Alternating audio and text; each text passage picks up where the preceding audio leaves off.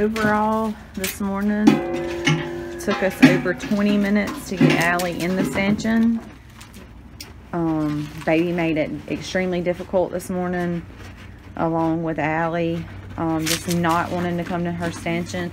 Of course, you can see we have to do the full V. She's got a chain. She's in a full V, so she cannot get out here. And of course, locked in the back. Um, maybe one day we can let her come in and not be fully strapped down but for right now it just ain't happening. So while she finishes eating um, we're gonna let the baby nurse. Baby is wanting to nurse in the same spot. So we've been trying to work with the baby and show it hey you've got other places to eat. Um, but that one that she's on right there is the one she keeps going to but we are definitely getting a halter on her in the morning.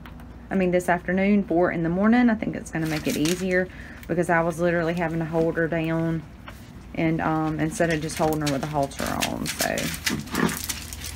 Anyway